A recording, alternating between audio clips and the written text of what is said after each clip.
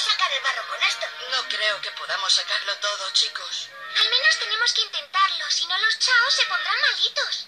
Bien dicho, Francis. Y si trabajamos en equipo, estará chupado.